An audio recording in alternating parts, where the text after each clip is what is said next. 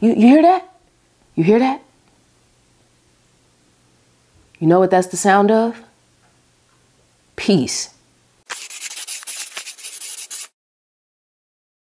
To be honest, man, I ain't gonna hold you, bro.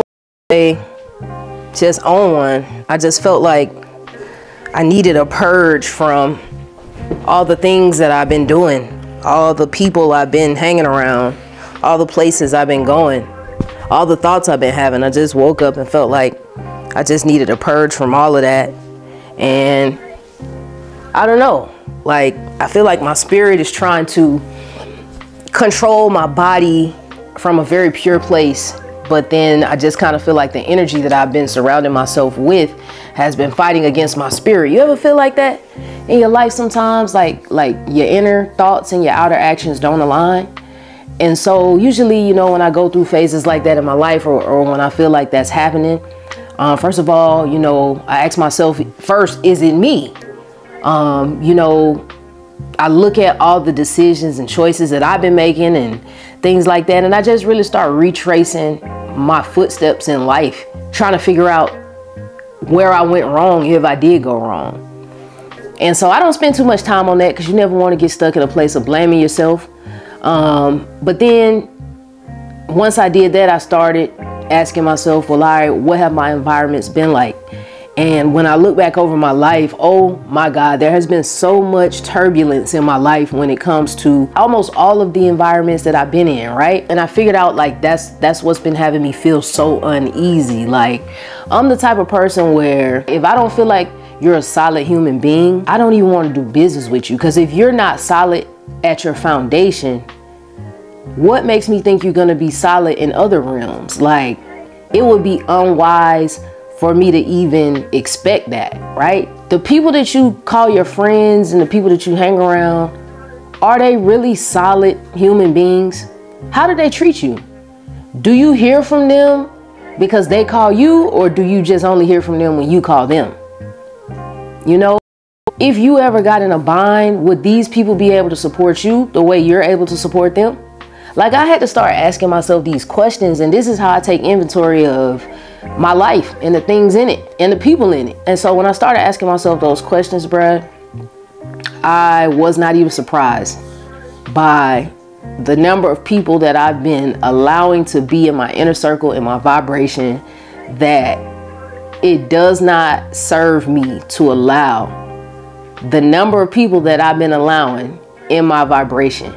It doesn't serve me. It hasn't served me. It's not ever going to serve me. But what I realize is that people have me in their circles because they do see the value in me. But it's like rather than being genuine and saying, hey, I fuck with you because of this, they downplay it, manipulate you to think something totally different, and then try to play in your face and act like you the stupid one. Like, that's crazy, bruh. That's crazy to me, bruh. So when I realized, you know, Cause I ain't gonna hold you like I be a little green sometimes. I don't really know how a lot of things work because I just don't operate from a place of intentionally manipulating people. So it's just like whenever people want me to play that game, I'm always gonna lose because I don't know how it go. You feel me? So in that way, I'm I'm real green and naive, you know. And so once I did kind of catch on to what the play was, that's when I made the decision. Like, you know what? I think that my life is going to be much more peaceful and successful once I remove the majority of the people in it. Because the truth is, some people don't even realize you are a giant because they're standing so close to you, they can't even see the bigger picture. So you need to have those people further away so they can actually have a better view of what's really going on. And so for me, this is the reason why I choose to live the solo life. Like people, you know, they be like, oh, it's lonely, you get bored. Da, da, da. No, I'm never bored because it really amazes me how much being by yourself, being silent, being alone, not to be confused with lonely, being in solitude, being at peace in solitude, it really amazes me how those things really intimidate and terrify people. That's my entertainment every single day when I leave the house. I just show up and somebody's bothered. Imagine that. Bro, my life is literally a movie. And then when I respond to the low vibrations, people try to play like, see, she's the problem. See how she's responding? Like, no. What did you do to cause the response? You could have just left me alone at peace, how I was. But no, you're so miserable in your life that you want to disrupt my peace because you see me happy and it's just something that you can't have. So you just jealous. I'm just gonna mess her day up or at least try because I'm having a bad day. Because my wife left me because I'm broke. Because I don't drive what I want to drive. Because I do got to wake up and go get a nine to five. Because I didn't put the work in. But I want everything like I did. I'm just to go try to mess her day up. I honestly feel like that's the way a lot of people think. And for whatever reason, I don't know, like having all these people around me is just not fulfilling. I know it's fulfilling to some people that are into fame and clout and popularity. Like, I get it, bro. Y'all like that kind of stuff. I don't like that kind of stuff, bro. I don't like feeling like I'm above everyone else. Cause I don't feel that way internally. Internally, I don't feel like I'm above everyone else. I don't even think that way. So I don't want to ever be in a position where somebody's putting me on a pedestal and placing me under a, a, a magnifying glass or a microscope trying to dissect every little thing I do and, and find the imperfections because I rather just show my imperfections from the jump. You feel me? And that way, nobody can ever use them against me because I own them. I own it. So if I own it and you don't own it, how you gonna use it against me? You don't even own it. I own. I'm the owner.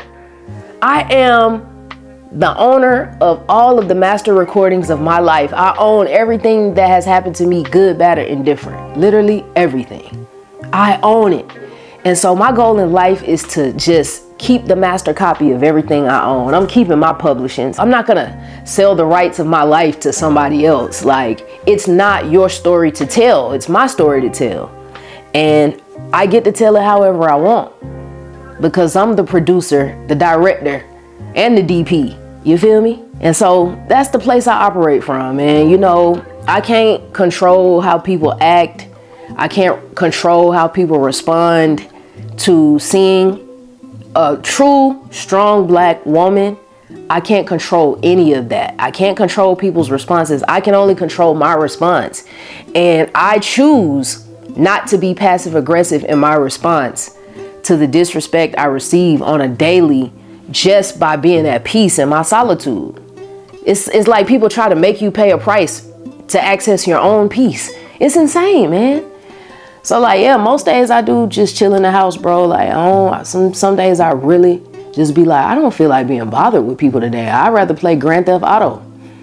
Or I'd rather find me a movie to watch, turn my fireplace on, because God has afforded me the freedom to do that comfortably. I love the fact that my phone is not constantly ringing 24 7. That's peace to me. It's just peaceful, bro. Like every person in this city wishes they were in this position right here to just chill, watch TV, as long as you want. Ain't nobody finna tell you you gotta be nowhere. You ain't gotta go check in with nobody. You ain't gotta go clock in with nobody. You could just chill, watch your shows, play your video games, smoke your weed, whatever it is you do, work on your music, play your drums, walk your dog, talk on your phone, however long you want. Ain't nobody gonna interrupt you. You do you. You even purchased a piece of the city where you can do you. Now ain't nobody really gonna bother you because this is your space. Your name is on it. You own that. Ain't nobody gonna fuck with you. Ain't nobody ringing your doorbell. You know what I mean? Like you don't owe nobody no money. You could just chill. Enjoy the beautiful sights of the city. The beautiful mountains and the the sun and the perfect weather during the summertime. You can just chill. You're free to enjoy all of that. You don't have to talk to nobody. You don't need nobody's job opportunity. You can just chill. Your bills are going to be paid just the same. You're going to be fine. Everybody wants to be in that position, right? Who don't want to be in that position? It's women out here that think that they gotta go get a man to be in that position. Do you see any men anywhere around here, bro? It's women that think they gotta have kids to be in that position. But how is it that I don't man, I don't have a partner, I don't have kids, I don't have a strong support system, I don't have all the money in the world, I don't have clout, I don't have fame, I don't have millions of followers, I don't wear makeup, I don't have a BBL, I don't have any body modifications. I don't have any of these things that people are thinking that this is what it takes for me to get to where I'm literally at right now in this moment. I don't have any of those things, but yet I'm still here. So, what is the lesson in that? You feel me? Like, I be asking myself, like, what's the lesson? Like, hmm, out of all the things I have, the most valuable thing I have is freedom. And I feel like that's all everybody really wants is freedom. Like people are so busy trying to attach themselves to someone. They don't understand if the ultimate goal is freedom, how can you attain freedom if you're so busy trying to attach yourself to another person? You spend the first 17, 18 years of your life being attached to your parents as their dependent. Hopefully, after high school, most people go to college. College is important, not just for the educational aspect, but because you need four, at least four years of your life where you're not attached to anybody. You're actually focused on who you are as a person, what you like, what you don't like, and the kind of adult you would like to be. That is the purpose of college. You're gonna grow, you're gonna develop and form new communities, you're gonna meet people you like, people you don't like. That is really where you really find your identity. You're gonna be around people you've never been around in life before. It's almost like a taste test to the real world before you actually get in the real world. Some people look at college like, oh, well, if they gonna teach me something new, I don't wanna go. Like, what? That's the whole point. So when you tell me like, oh, you didn't go to college simply because school ain't for you, I'm not buying that, bruh. I'm not. Now, if you didn't go to college because you just couldn't afford it, that's different. You feel me? But if you just saying you didn't, you had the means to go, but you just didn't go because you didn't want to better yourself and learn something new, bruh. Bruh, that's tough, bruh. That's tough. And then you just you have people like me. I went to college, but I threw a little curveball in my path. I threw the military in there too. That was never on the bingo card for my life. Never. Never as a kid did I ever say, I want to grow up and be in the army. I didn't even know what that was. Like, I still didn't know what it was the day I signed up. Didn't know what I was getting myself into. All I knew was that I was trying to get, literally remove myself from the town I was going to college in because I just felt the racism like in the hairs on my arm and shit, bro. Like the racism was so thick you could cut it with a knife. For that reason alone, like I never regret joining the army, bro. Like, I know people be hating on it a lot because they see how I live and other veterans live that actually took advantage of a very simple opportunity. And um, people be hating and shit, but like I, I, none of that shit bothers me for real because it's just like, bruh, you have the same option, bro. You can go do it too. You're not too old. If you want what I got, then go do it. You know what I'm saying? You really that dude? Go enlist, bruh. Like, you know what I'm saying? What you scared? You know what I'm saying? Like, people really will make you, you know saying? People have you out here thinking, yeah, you know, I'm gang, I'm gang gang, and da da da da. But it's just like, all right, bro, well then go kill a nigga for real. Go get paid to do it. Put your money where your mouth is, and we shall see who's real and who's not. And then when you do that, then and only then can you sit here and criticize my life or hate on my life or be mad that I have something that you don't have for the work that I did that you didn't do. Period. Because I am by myself so much, I have a lot of time to think. I'm about to get dressed and go downtown so I can um, shoot some more content for the day. But I ain't even gonna hold y'all, bruh. If you like this video, hit the like button. If you love this video, hit the subscribe button. But either way, y'all already know how it goes. Till next time, peace.